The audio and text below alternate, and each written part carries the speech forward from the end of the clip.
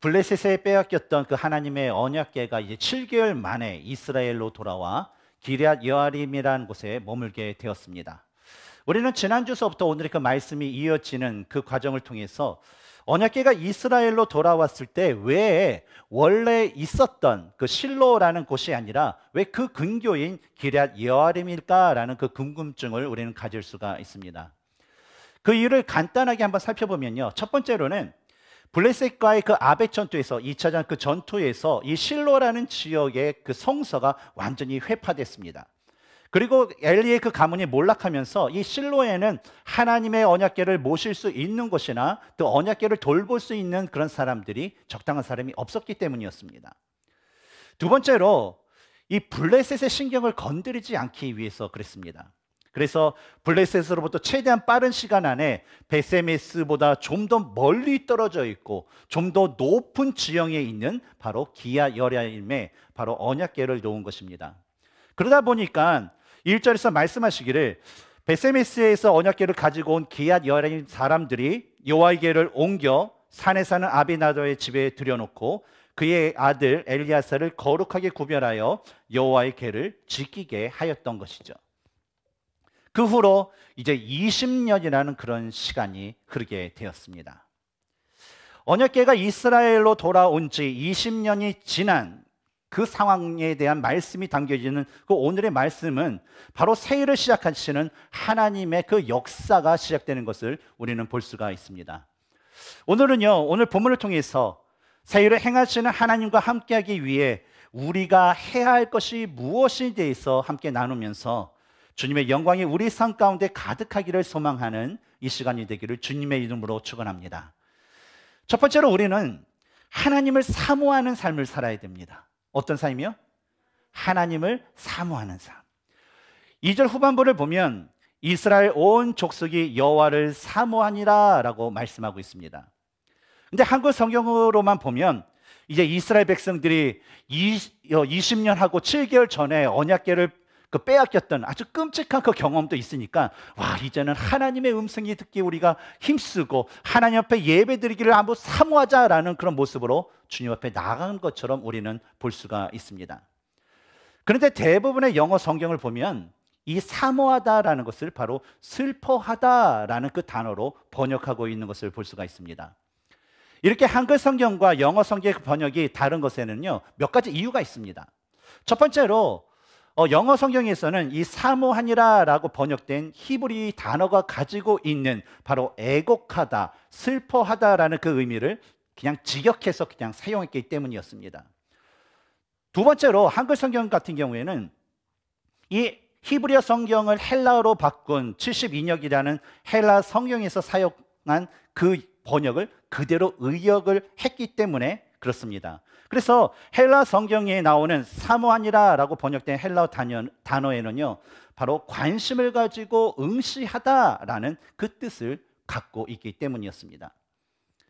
근데 문제는 우리죠.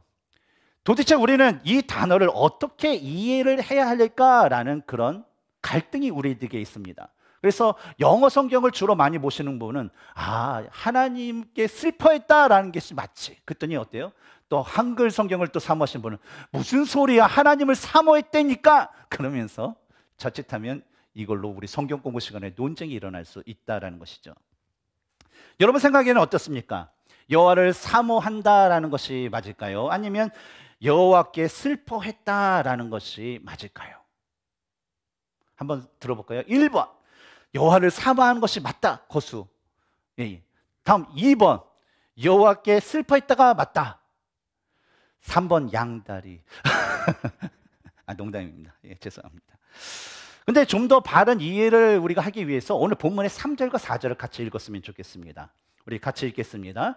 시작. 사무엘이 이스라엘 온 족속에게 말하여 이르되 만일 너희가 전심으로 여호와께 돌아오려거든 이방 신들과 아스다로스를 너희 중에서 제거하고 너희 마음을 여호와께로 향하여 그만을 섬기라 그리하면 너희를 블레셋 사람의 손에서 건져 내시리라. 이에 이스라엘 자손이 바알들과 아스다롯을 제거하고 여호와만 섬기니라. 이 3절과 4절을 보면 드디어 이 타락한 이스라엘과 하나님의 그 영광이 떠났다라는 것을 상징했던 이 엘리의 가문이 멸망한 후에 하나님의 임재와 하나님의 영광이 다시 이스라엘 가운데 돌아온 것을 상징하는 누가 나타나요? 사무엘이라는 그런 인물이 나옵니다. 우리 영화에 보면 이 주인공이 나오면 어떻습니까? 무슨 음악이 나오죠? 웅장함. 예, 갑자기 생각이 안 나요. 버밤버그 나나요? 그런 등장입니다. 그래서 이 구절을 읽을 때는 사무엘이 나타나니라 그런 음악이 제 여러분 귓가에 들려야 됩니다. 예? 들리시죠? 예. 그 감정을 가지고 계속 보도록 하겠습니다. 근데 이스라엘 백성들 앞에 나타난 이 사무엘에 대해서는요, 이미 사무엘상 3장 19절과 20절에서 언급한 적이 있었습니다. 우리 같이 읽어볼까요? 시작. 사무엘이 자라매 여호와께서 그와 함께 계셔서 그의 말이 하나도 땅에 떨어지지 않게 하시니 단에서부터 부엘세바까지의 온 이스라엘이 사무엘은 여호와의 선지자로 세우심을 입은 줄을 알았더라. 이 말씀을 보면 오늘 본문 3절에서 나오는 이 사무엘인 사람이 어떤 이스라엘의 그 위기 가운데 뭐 위기가 영웅을 만들다고 그것처럼 사무엘이 갑자기 쫙 나타나서 뭐 회개하라 뭐 하나님을 바라보십시오 라고 선포한 것이 아니라 이미 사무엘이 하나님의 선지자이고 또 하나님께서 이 선지자를 통해서만 사무엘을 통해서만 말씀하신다는 것을 이스라엘 온 백성들이 이미 알고 있었다라는 거예요. 그리고 이러한 사무엘이 3절에서 백성들에게 말하는 것을 보면 이 본문에 나오는 이 이스라엘 백성들의 현 상태가 어떻다라고 말하던가요? 어떻다고 하죠? 한번 우리 말씀을 보면서 한번 살펴보겠습니다. 3절을 한번 보세요. 보면서 저를 따라오시기 바랍니다. 3절에 만일 너희가 전심으로 여호와께 돌아오려거든이라고 말씀하고 있습니다. 근데 어, 사무엘이 백성들에게 너희가 전심으로 여호와께 돌아오려거든이라고 얘기한 것은 이 이스라엘 백성들이 하나님께 돌아왔다라는 거예요, 아니면 떠나 있다라는 거예요? 떠나 있다라는 거예요. 바로 이스라엘 백성들 마음이요 하나님께 있지 않고 딴 데 있다라는 거예요. 다음으로 이방 신들과 아스다로스를 너희 중에서 제거하고 너희 마음을 여호와께로 향하여 그만을 섬기라라는 말씀을 보면 어떻습니까? 이스라엘 백성들이 하나님만을 하나님을 섬기고 있나요? 하나님을 섬기곤 있죠. 그렇죠? 근데 어떻습니까? 그만을 섬기라라는 거 뭐냐면 여호와 하나님과 함께 다른 신들도 섬기고 있었다라는 거예요. 그런데 사무엘이 아, 이스라엘 백성들이 어느 신들을 하나님과 같이 섬기고 있다라고 말씀하나요? 바로 이방 신들. 이방 신들을 뭡니까? 바로 전쟁과 풍요의 또 남성의 그 신의 그 최고의 신으로 얘기하는 누구? 바알 신. 그리고 다산과 아름다운 신의 미 신이자 최고의 여성 신인 바로 아스다로스를 그들이 섬겼다라는 것입니다. 여러분 바알 그럼 우리 너무나도 잘 알죠. 성경만 열어서 구약 보면 뭐 이방신 그러면 바할 그렇죠? 바할 하면 그냥 뭐 10개 중에서 8개는 맞아요. 우상 섬겼다. 그런데 아스다롯은 누구인가라는 것이 우리에게 궁금증이 있습니다. 근데 이 아스다롯이라는 이 여성신은 시대를 거쳐서 이름만 바뀌지 계속적으로 우리 인간 사회에 큰 영향을 끼쳤던 그런 신이었어요. 아스루와 그 바벨론에게서는요, 이 아스다롯이 이시타르라는 그런 신으로 여신으로 되어 있었고 그리스 사람들에게는 아스타르테나 아프로디테. 아프로디테는 우리가 우스갯소리를 그렇게 얘기합니다. 앞테나 뒤테나 아름다워서 아프로디테다. 그런 그런 신. 또 로마 사람들에게는 비너스라는 이름으로 바로 사람들이 섬겼던 신이 바로 아스타로이스라는 그런 신입니다. 이처럼 이스라엘 사람들은요 다신론을 섬기는 그 자들처럼 여호와 하나님도 믿고 바알도 믿고 아스다롯을 믿으면서 어때요? 그냥 자신들이 원하는 그 욕구를 채우기 위해서 여전히 우상 숭배를 하고 있었다라는 것을 우리는 사무엘의 그런 말을 통해서 우리는 알 수가 있습니다. 이런 사무엘 선지자의 그 말씀을 가지고요. 다시 우리가 2절에 나와 있는 이스라엘 온 족속의 여호와를 사모하니라라는 그 말씀을 함께 보겠습니다.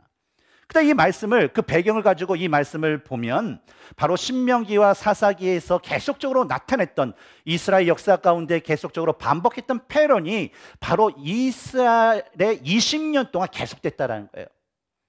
신명기와 사사기 가운데 나타난 이스라엘 백성들이 행했던 그런 패런이 무엇입니까? 패턴 계속 반복되는 거. 이스라엘 백성이 여전히 우상 숭배를 했다는 거예요. 그러면 어떻게 해요? 하나님께서 이방족을 통해서 그를 징계하신다는 거예요. 징계해서 부르짖으면 뭐예요? 하나님께서 또 구원해 주세요. 근데 이것이 계속 반복됩니다. 한번 따라 하시기 바랍니다. 여전히 우상숭배하여 벌을 받고 벌을 받다 부르짖어 구원받았다. 우상숭배하고 징계받고 구원받아. 다시 우상숭배하고 징계받고 구원받았다. 이걸 한 20년 동안 했다라고 생각해 보시기 바랍니다. 우리가 이것을요, 계속적으로 제가 한 두 번밖에 안 했지만 한 20번을 시킨다 그러면, 아, 목사님 지겨워요. 아, 힘들어. 입 아파요. 막 그러지 않겠습니까?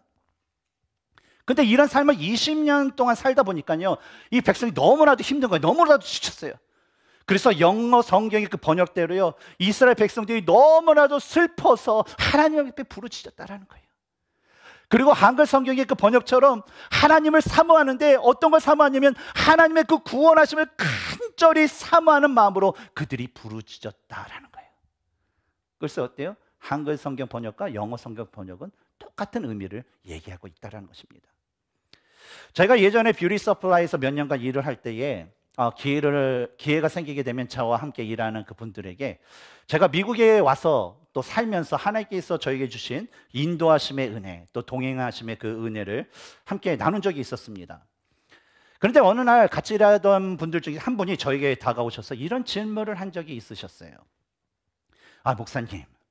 아, 저도요, 지난 10년 동안 이 한일교회에서 성가대 지휘를 하면서 진짜 교회에서 누구 못지않게 신앙생활을 했는데 근데 저는요, 아직도 하나님의 인도하심, 하나님의 그 동행하심, 그런 거에 대해 잘 모르겠어요. 오히려 제 삶은요, 나아지지 않고 점점 나빠지는데, 어려워지는데, 혹시 저희 삶에는 하나님의 인도하심은 없는 것이 아닐까요? 신앙생활을 하는 그 그리스도인들의 모습을 보면요. 성경에 나와 있는 이 사사시대에 살았던 그 이스라엘 백성들이 가졌던 동일한 모습들을 우리는 볼 수가 있습니다. 하나님께서는요, 과거 이스라엘 백성들에게나 오늘날 우리와 같은 그 그리스도인들에게 말씀하시는 그 말씀은요, 동일합니다. 어떤 면에서 동일합니까? 하나님의 말씀을 우리가 지켜 행할 때에 하나님께서 뭘 주신다는 거예요? 복을 주신다고 했어요. 기억나시죠? 하나님의 말씀을 지켜 행할 때 너희가 나의 윤례와 법도를 지키면 내가 어때요? 복을 주신다는 거예요. 아브라함에게 언약하셨던 그 복. 근데 혹시나 제가 말하는 이 복을 좀 기복신앙적인 것으로 이렇게 바라보시는 분이 있을까봐 제가 아, 말씀드리는데 여기서 말하는 그 복은 꼭 돈, 어떤 물질만을 가리키는 복은 아닙니다. 아셨죠? 네, 그러니까 저는 기복신앙을 추구하는 사람은 아닙니다. 근데 저는 이 복을, 복을 한마디로 얘기하면 어떤 복이냐? 바로 형통함의 복이다라고 말하고 싶습니다. 바로 요셉에게 주었던 그 형통함의 복. 요수와 1장 8절에 이 율법책을 내 입에서 떠나지 말게 하며 주야로 그것을 묵상하여 그 안에 기록된 대로 다 지켜 행하라. 그리하면 내 길이 평탄하게 될 것이며 내가 형통하리라. 라는 그런 복입니다. 근데 문제는요. 구약에 나오는 이스라엘 백성들 자체. 또 오늘날 그리스도인이란 그 자체가 하나님만을 온전히 섬기지 못하는 그런 모습들이 너무나도 많다라는 거예요. 여전히 하나님과 돈을 같이 섬겨요. 여전히 하나님과 출세하는 것, 내가 명설 떠는 것, 그것을 같이 섬겨요. 여전히 하나님과 자신을 같이 섬겨요. 여전히 하나님과 쇼핑을 같이 섬겨요. 여전히 하나님과 다른 무엇인가를 계속 섬기는 그런 모습. 바로 하나님 섬기는 것을요. 자신의 욕심과 혼합시켜서 섬기는 그런 사람들이 우리들 가운데 너무나도 많다라는 거예요. 예를 들어서 한 남자와 한 여자가 그 결혼한 얘기를 여러분께 들려드리겠습니다. 한 멋지는 남자와 한 아름다운 여자가 결혼을 했습니다. 그래서 부부가 되었어요. 이 남편은요, 아내에게 참 잘해요. 우리 교회는 아내에게 참 잘한 남편이 누가 있을까요? 어, 김도식 집사님 잘하고 계십니다. 그래서 객관적으로 보면 무엇 하나 빠지지 않는 진짜 1등 남편이에요. 그래서 어때요? 아내도 남편을 너무 사랑해요. 김성진 집사님, 김도식 집사님 너무 사랑하시죠? 아멘 하셔야죠. 웃지 마시고. 그런데 이제 이제 두 분의 두 분의 이야기를 떠났습니다. 오해하지 마세요. 그런데 어느 순간서부터 이 아내가 남편보다 다른 남자가 건네는 어떤 말이나 태도, 뭐 매너, 선물 그런 것들을 더 좋아하게 좋아하게 시작하겠습니다. 근데 남편을 여전히 사랑해요. 그래서 집에서는 남편을 끔찍하게 사랑해요. 근데 집만 나가면 다른 남자들이 좋아해서 그 남자들과 데이트도 하고 더 깊은 그런 관계를 즐기게 됩니다. 근데 이런 모습이 한국에도 있죠. 남편에게 다른 여자 애인이 따로 있고 아내에게 다른 남자 애인이 있는 그런 모습.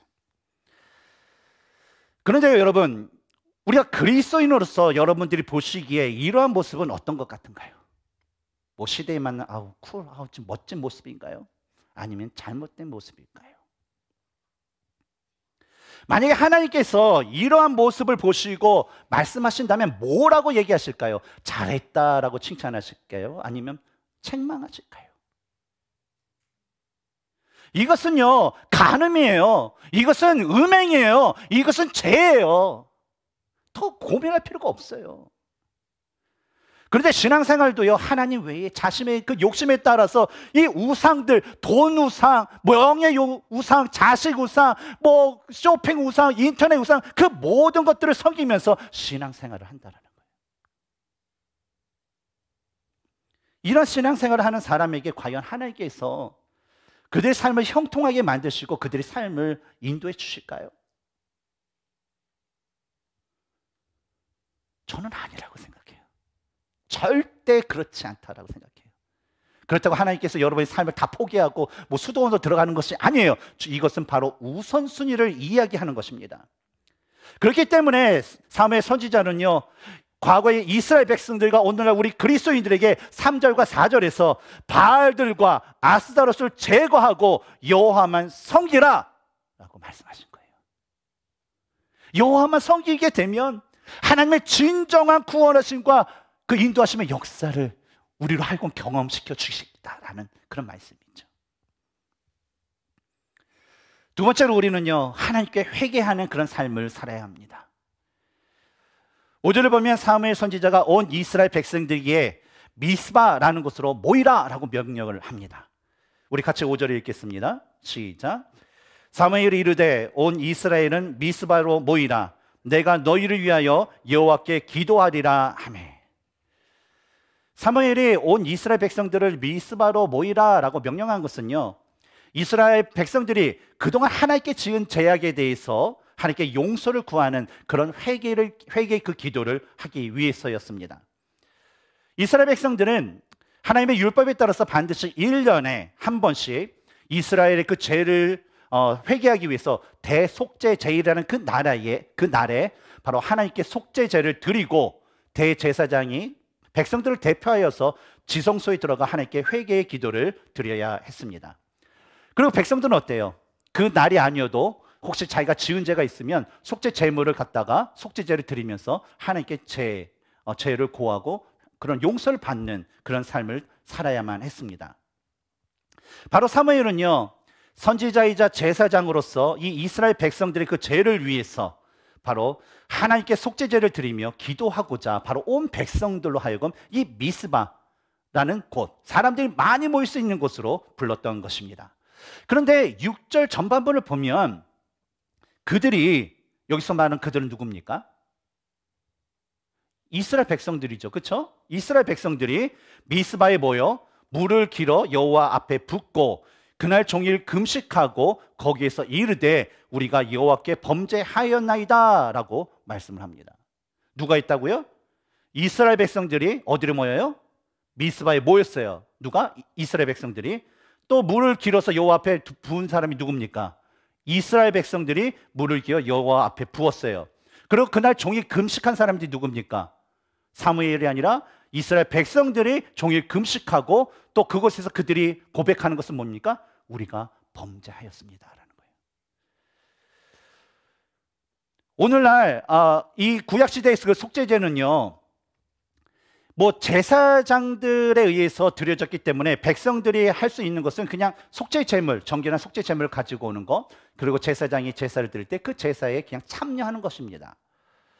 그런데 6절에 나오는 이 이스라엘 백성들의 모습을 보면요. 스스로가 하루 종일 금식하고 스스로가 자신의 그 진정한 마음을 하나님께 드리며 스스로가 하나님께 자신의 죄에 대해서 회개를 했다라는 거예요.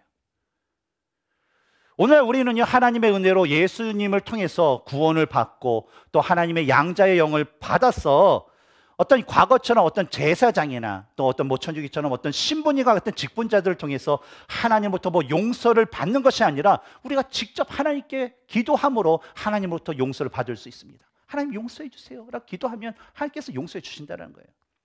그런데 이 기도의 응답이라는 것이 우리가 뭐 말 한마디 했다라고 해서 하나님께서 그냥 그대로 응답해 주시는 것이 아니라는 거예요.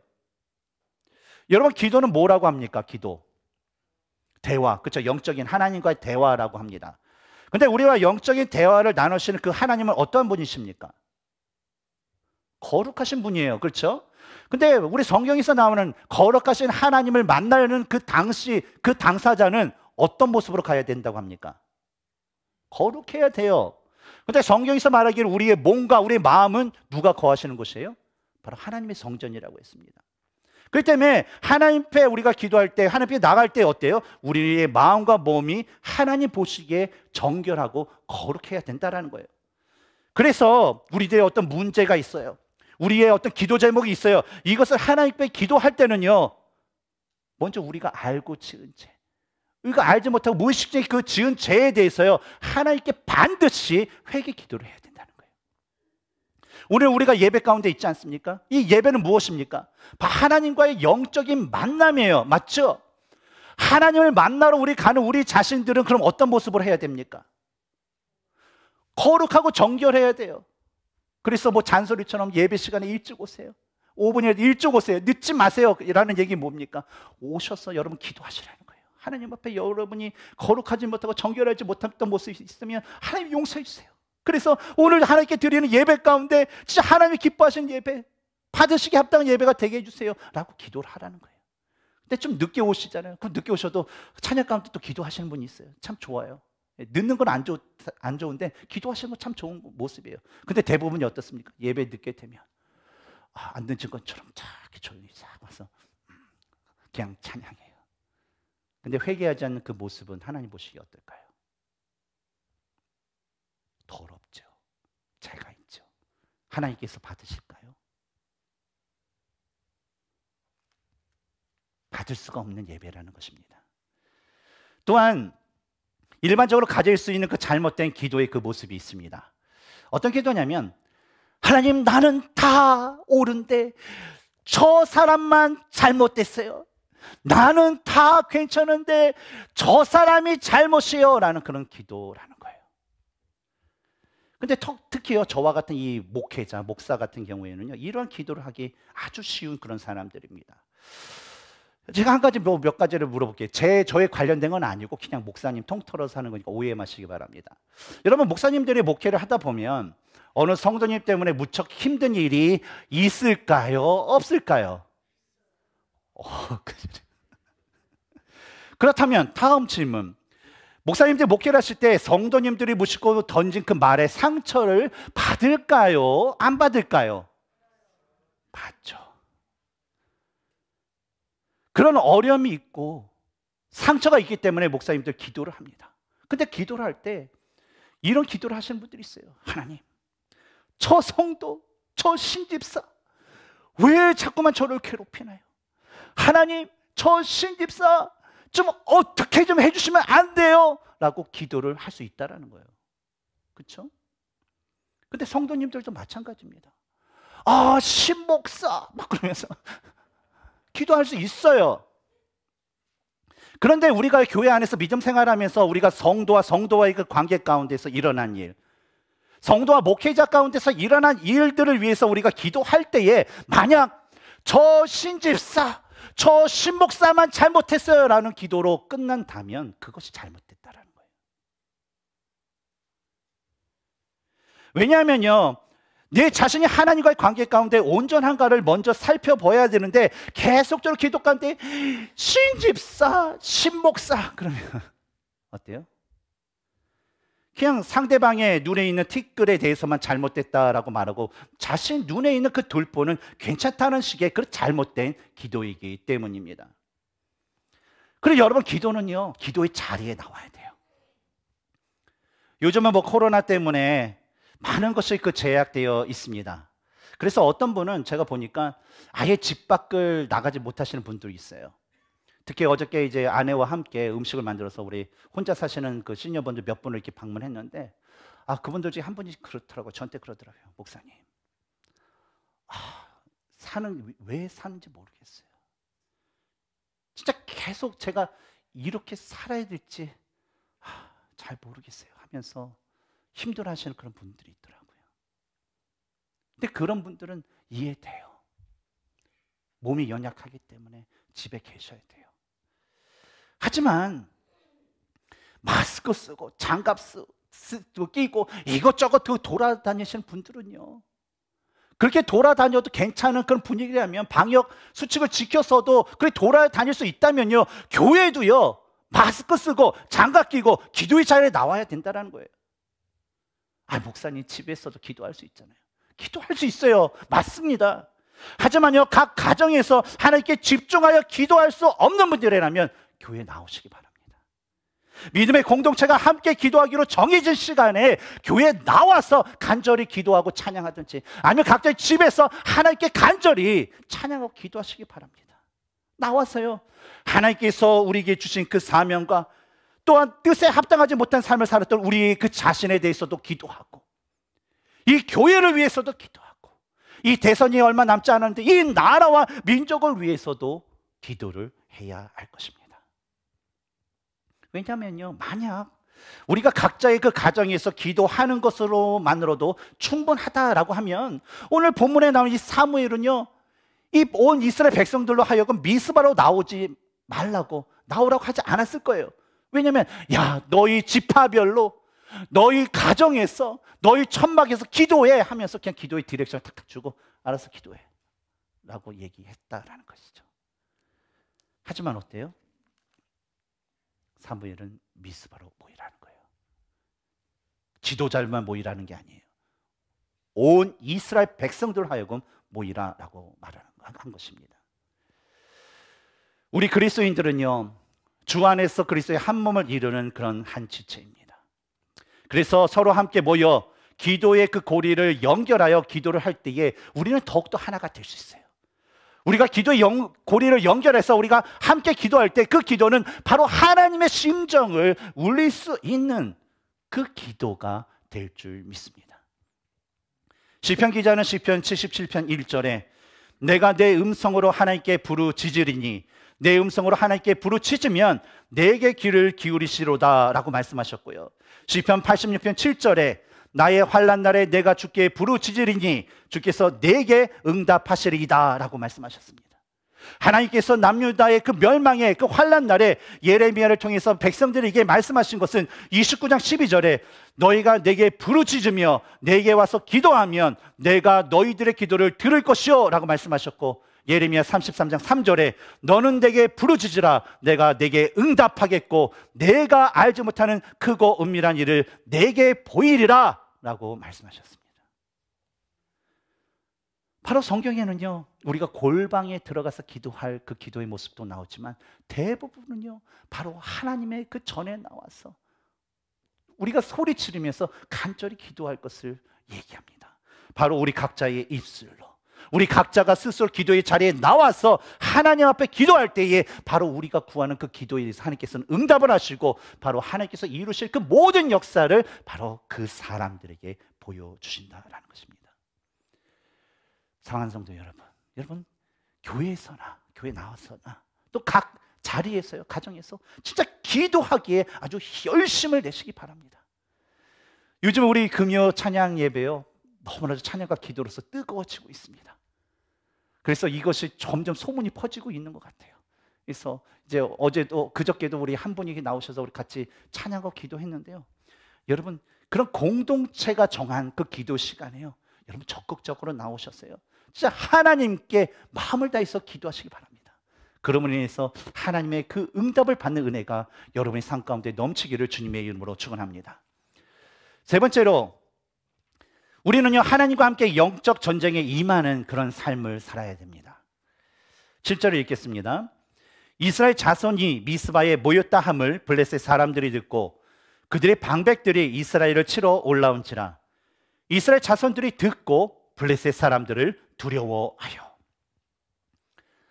온 이스라엘 백성들이 이 미스바라는 곳에 모여서 하나님께 지은 죄에 대해서 회개를 하고 하나님의 그 말씀을 지켜 행하기로 그들은 결심을 합니다. 그런데 이런 내용, 내용도 모르고 이 블레셋 사람들은요, 아, 이스라엘 사람들이 미스바에서 모여서 이 블레셋을 공격할 그 전쟁 준비를 하는구나라고 생각을 하고 자신의 군대를 이끌고 이스라엘로 쳐들어오게 됩니다. 근데 이에 대한 이스라엘 백성들의 반응을 보면 7절에서 어떻다고 하죠? 바로 블레셋 사람들을 두려워하였다라고 이야기를 합니다. 그런데 이어지는 8절의 말씀을 보면 이스라엘 백성들이 20년, 20년하고 7개월 전에 있었던 그 모습과 완전히 다른, 다른 모습을 갖고 있는 것을 우리는 찾아볼 수가 있습니다. 우리 8절에 읽겠습니다. 시작. 이스라엘 자손이 사무엘에게 이르되 당신은 우리를 위하여 우리 하나님 여호와께 쉬지 말고 부르짖어 우리를 블레셋 사람들의 손에서 구원하시게 하소서 하니. 이스라엘 백성들이 보인 모습은요. 과거에 아벡 전투에서 보였던 그 모습처럼 야 블레셋이 쳐들어와 하나님의 언약궤를 가져와 라는 그런 모습이 아니었어요. 야 블레셋이 쳐들어온다. 야 빨리 곳간에 있는 모든 창과 검 그런 거 다 가져와 라는 그런 모습도 아니었어요. 무엇이었습니까? 바로 사무엘을 통해서 부르짖어 달라는 거예요. 그들의 부르짖음은요.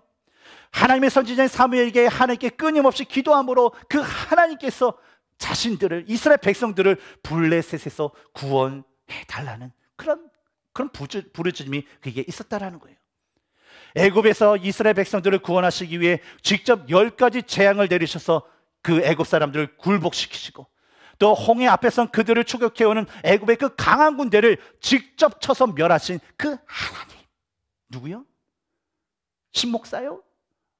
등치 크니까 힘이 셀 것 같아서? 아니죠. 누구요? 하나님. 어떤 하나님? 우리 백성들을 위해서 대신 싸워 이겨 주실 그 하나님께서 바로 블레셋이 쳐들어온 이 순간에도 자신들을 위해서 싸워서 구원해 달라는 그 간절한 부르짖음이 바로 이스라엘 백성들에게 있었다는 거예요. 바로 하나님만이 전쟁의 그 주관자이시며 하나님만이 구원자 되심을 고백하는 그들의 신실한 믿음의 고백이었던 것입니다. 이런 믿음으로 요구하는 그들의 요청에 이 사무엘 자신도요 가만히 있을 수가 없었습니다. 그래서 구절을 보면요. 사무엘이 젖 먹는 어린 양 하늘을 가져다가 온전한 번제를 여호와께 드리고 이스라엘을 위하여 여호와께 부르짖음에 여호와께서 응답하셨더라. 사무엘은요 하나님께 합당한 그런 온전한 예배를 정석껏 드렸습니다. 양 한 마리를 가져다가 하나님 앞에 모든 것을 드릴 수 있는 그 번제를 통하여서 하나님께 정석권 예배를 드리고 하나님께 이 이스라엘 백성들의 구원을 위해서 간절히 기도했습니다. 그랬더니 어떤 역사가 일어나죠? 사사 시대 그 수백 년 동안 응답이 없었던 그 하나님의 응답이 어때요? 그 순간 이스라엘 백성들에게 내려주신 것입니다. 이어지는 10절과 우리 11절을 읽겠습니다. 시작. 사무엘이 번제를 드릴 때에 블레셋 사람이 이스라엘과 싸우려고 가까이 오매 그날에 여호와께서 블레셋 사람에게 큰 우레를 발하여 그들을 어지럽게 하시니 그들이 이스라엘 앞에 패한지라 이스라엘 사람들이 미스바에서 나가서 블레셋 사람들을 추격하여 백갓 아래까지 이르기까지 쳤더라. 이 블레셋은요 그동안요 이 이스라엘과의 그 전쟁에서 승승장구했어요. 뭐 백전 백승. 그냥 이스라엘 진 적이 없었어요. 그러니까 어때요? 지금 의기양양해서 모든 군대를 이끌고 다시 이스라엘을 쳐들어오게 됩니다. 이번에도 블레셋은요 자신들이 믿고 의지하는 그 다곤 신을 의지하면서 아 저 이스라엘 그냥 가만 놨더니 또 이 반역의 싹을 틔우네 그러면서 아 이번 기회에 완전히 그 싹을 밟아버리자라는 그 마음으로 이제 공격을 하려고 쳐들어온 것입니다. 근데 어떤 놀라운 일들이 그 순간에 발생했을까요? 블레셋 사람들이요 이스라엘 백성들이 모여서 하나님 앞에 예배드리고 하나님 앞에 기도하는 곳에 가까이 오자 하나님께서요 그들에게 큰 우레를 치셔서 그들을 이스라엘 앞에서 패하게 만드셨다라는 거예요. 미스바에 모인 이스라엘 백성들은요 전쟁을 위한 모임이 아니었기 때문에 전쟁 준비가 하나도 안 돼 있었어요. 그래서 블레셋의 공격을 당하면 100%질 수밖에 없는 그런 상황이었어요. 하지만 그 순간에 그들은 하나님을 신뢰했습니다. 그 순간에 그들은 하나님을 의지했어요. 그 순간에 그들은 하나님께 부르짖었습니다. 그랬더니 하나님께서 직접 그들을 그 적군을 그 블레셋을 우레로 쳐서 이스라엘 백성들에게 승리를 주신 것입니다. 12절을 보면 하나님의 은혜로 전쟁에서 승리한 이 사무엘은요. 돌을 취하여서 미스와 센 사이에 그 돌을 세우게 됩니다. 우리 12절을 같이 읽겠습니다. 시작. 사무엘이 돌을 취하여 미스바와 센 사이에 세워 이르되 여호와께서 여기까지 우리를 도우셨다 하고 그 이름을 에벤에셀이라 하니라. 사무엘은요 하나님께서 승리를 주신 그 땅에 돌을 세움으로 하나님께서 이스라엘에게 승리를 주셨습니다. 하나님의 영광이 다시 이스라엘 가운데 돌아왔습니다. 라는 것을 바로 모든 이스라엘과 모든 만방과 또한 자신들의 그 후손에게 이 돌을 통하여서 그 메시지를 전한 것입니다. 그리고 그 돌을 세워진 것을 하나님의 그 도움이라는 뜻을 가진 바로 에베네셀이라라고 이름을 지어 부르게 되었습니다. 그리고 그 이후의 모습에 대한 13절부터 마지막까지의 말씀을 보면 이 13절에 하나님의 손이 사무엘이 사는 날 동안에 블레셋 사람들을 막으심에라는 그 말씀처럼 하나님의 손 무엇을 얘기한다고 했죠? 하나님의 능력 그것이 이스라엘 가운데 내려져서 블레셋이 쳐들어와도 하나님의 능력이 그것을 막으시고 또한 사무엘이 어, 사는 날 동안에 바로 하나님께서 이스라엘 백성들에게 평화를 주셨다라고 기록하고 있습니다. 여러분 우리가 살아가고 있는 이 미국 어떻습니까? 살기에 너무 좋죠. 진짜 뭐 전쟁도 없고 진짜 세계적으로 물질적으로 풍부한 나라가 바로 우리가 살고 있는 미국이라 저는 생각합니다. 그러다 보니까 전쟁에 그 대한 뭐 공포도 없이 물질적인 풍요 속에 참다한 그 평화 속에 우리는 아 앞으로도 우리 삶이 이렇게 평화롭게 살아갈 거야라고 우리는 생각할 수 있습니다. 그러나 여러분 우리의 육신적인 죽음과 고통을 주는 그 전쟁이 없다 하더라도요, 여전히 우리를 하나님으로부터 떨어지게 하려고 하는 그 사단의 공격은 끊임없이 우리들에게, 끊임없이 그리스도인들에게 있다라는 것을 우리는 반드시 기억해야 될 줄 믿습니다. 그래서 사도 베드로는요, 베드로전서 5장 8절에 근심하라 깨어라 너희 대적 마귀가 우는 사자같이 두루다니며 삼키자를 찾나니라고 말씀하신 거예요. 그래서 우린 전쟁 가운데 있는 거예요. 근데 군인이요. 전쟁에서 그냥 뭐 긴장을 풀고 훈련에 게으름을 핀다라고 하면 어떨까요? 어느 날 적군이 쳐들어왔을 때요. 그 싸움은 질 수밖에 없고 그 싸움에서 죽을 수밖에 없다라는 거예요. 하지만 우리가요 항상 말씀과 기도로 깨어 있어서 하나님과 함께 온전히 서 있으면 사탄이 언제 올지 몰라도 우리를 공격할 때 어때요? 우리 안에 계신 그 성령님께서 우리를 보호해주고 지켜주신다는 거예요. 건들지 마, 얘는 내 거야. 바로 우리를 사탄과의 그 전쟁에서 승리케 하여 주시고 참담 평화를 우리 삶 가운데 주실 수 있는 것입니다. 여러분, 우리가 그리스도인이 되었다는 것. 이것은요, 다른 말로 표현하면 우리가 하나님의 군사가 되었다라는 것입니다. 우리가 이런 그리스도인에서 신앙생활을 한다라는 것 이거는요 바로 우리가 영적 전쟁을 우리가 시작했다라는 것을 의미를 합니다. 그런데 이런 영적 전쟁에서 승리하기 위해서는요 다른 것도 아니고 우리가 스스로가 하나님께 나아가 하나님 곁에 우리가 온전히 서는 것이 중요합니다. 왜냐하면 하나님은 이미 모든 전쟁에서 승리하신 분이시고 우리가 처한 그 모든 전쟁의 주관자가 되시기 때문입니다. 그러므로 우리가 함께 나눴던 것처럼 우리는요, 첫 번째로 하나님께 온전히 나아가기 위해서는요, 반드시 하나님의 구원하심을 사모하는 삶을 살아야 될줄 믿습니다. 두 번째로 우리가 하나님께 합당한 자가 되기 위해서는요, 반드시 하나님께 회개하는 그런 삶을 살아야 됩니다. 마지막으로 세 번째로 우리가 하나님과 함께 영적 전쟁에서 승리하기 위해서는 반드시 우리가 하나님 편에 서서 하나님과 함께 그 전쟁을 치루어 나가는 그런 삶을 살아야 될 줄 믿습니다. 역대 32장 8절을 보면 아주 그 당시에 강력하고 무서운 왕, 강대국이었던 그 아수르의 산헬림이라는 그런 왕이 예루살렘에 쳐들어왔습니다.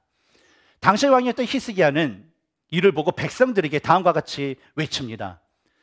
그와 함께하는 자는 육신의 팔이요 우리와 함께 하시는 이는 우리의 하나님 여호와시라 반드시 우리를 도우시고 우리를 대신하여 싸우시리라. 근데 그 믿음의 고백이요. 실제적으로 이루어 주셔서 하나님께서 이스라엘 백성들을 도우시고 이스라엘 백성들을 대신하여 싸우시고 또 이스라엘 백성들에게 승리를 주셨습니다. 오늘날 우리를 공격하는 이 세상 바로 악한 영들의 그런 무리들은 이미요 예수님께 패하고 하나님의 그 능력에 굴복한 자들입니다. 그렇기 때문에 혹시 여러분이 악한 그 세상 때문에 악한 영 때문에 고통받고 어려운 분들이 계시다면요. 그 순간에요. 연약하고 부족한 자기 자신만을 보지 마시고 이 세상에 능력이신 진정한 왕이신 구원자신 그 주님을 바라보시길 바랍니다. 모든 것의 주관자가 되시고 모든 만물의 그런 구원자가 되시는 그 분이 바로 우리가 믿는 하나님이십니다. 그 하나님을 온전히 믿고 그 승리하신 그 주님을 의지하면서 여러분의 삶이 형통하고 승리하는 삶이 되시기를 주님의 이름으로 축복합니다. 함께 기도하겠습니다.